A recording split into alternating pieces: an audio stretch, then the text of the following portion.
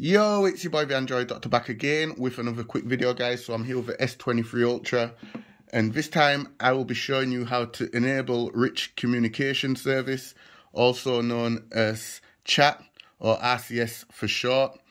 So before I actually show you how to turn it on, I'm just going to explain for those who don't know what RCS is.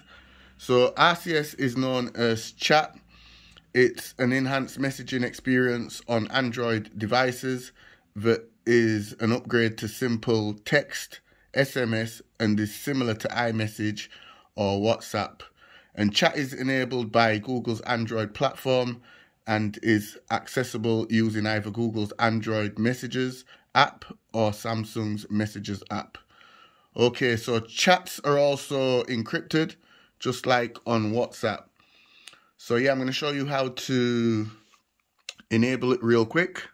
So just pull down the notifications, go into settings and scroll down to where it says connections here. And then scroll down to where it says more connection settings.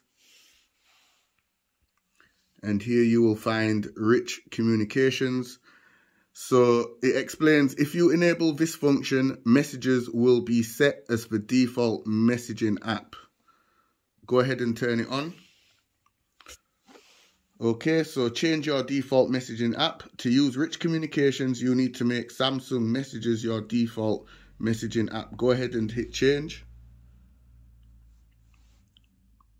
And then hit OK. Select messages then select set as default. And it's now all set up. And if you go back into settings connections more connection settings if you want to turn it off just turn it off and if you select this option here, it explains send and receive one-on-one -on -one or group chat messages and share pictures and videos using mobile data or Wi-Fi. So it's just like using WhatsApp or iMessages, guys.